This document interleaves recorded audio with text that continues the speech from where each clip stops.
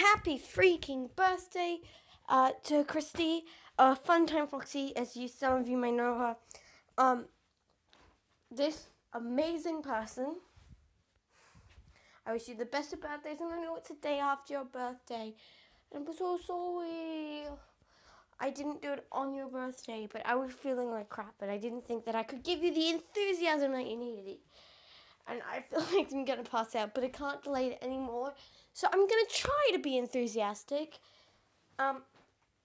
So anyway, this is this amazing person.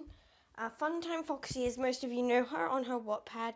You, I think she has YouTube, but I haven't seen it because I can't find it anywhere. If any of you guys can find Funtime Foxy's YouTube channel or Christy underscore underscore's YouTube channel, please tell me because I'm trying to find it, but I can't. Um, but anyway, happy birthday.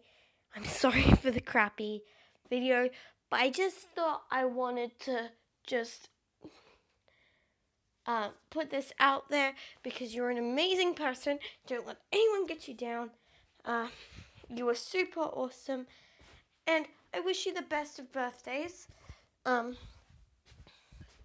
you okay? Quick backstory: We have been friends for literally eight years. that's like that's big thing. But we've been friends for eight years. Uh, I think um, we've no, we've known each other for probably longer than that actually, but friends, uh, officially friends for eight years, and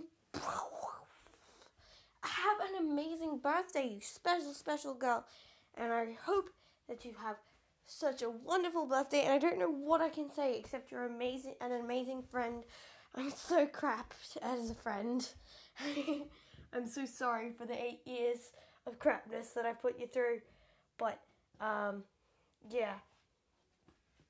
Please have the most brilliant birthday ever. And I just want to wish you a happy, merry, happy, smiley, happy birthday. And please uh, have a brilliant year onwards.